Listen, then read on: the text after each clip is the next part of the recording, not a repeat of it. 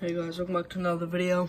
Today, I'm just showing you this quick little artillery cannon MOC that I've made. So, pretty much what it is, simple as that. Artillery cannon has two barrels, one for each artillery round, and there's these, yeah, they act as pretty much barriers, so no bullets can hit the driver, should I say, blaster bolts. and they also lift up to reveal a pretty good entrance for the driver.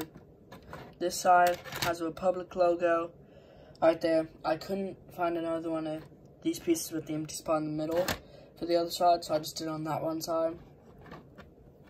Now moving on to the back, not much space, but there is this little blaster holster and let me take this clone out.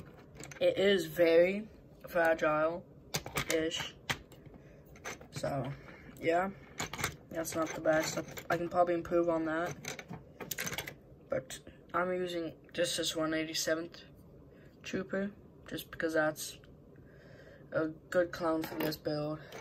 You can see on the inside, enough room just to put one clone, maybe two if you can squeeze it in yeah, that's about it. Um, pretty cool. Uh, I can assure you that from last week's upload that the stop motion is still underway. This is a vehicle that will be in the stop motion. That's why it's being built. So that's about about all I got. Till next time. Um, upload next upload probably just gonna be news on stop motion. Yeah. Feel free to like and subscribe or check out my other videos, see if you like them. And that's gonna be all for me. See ya.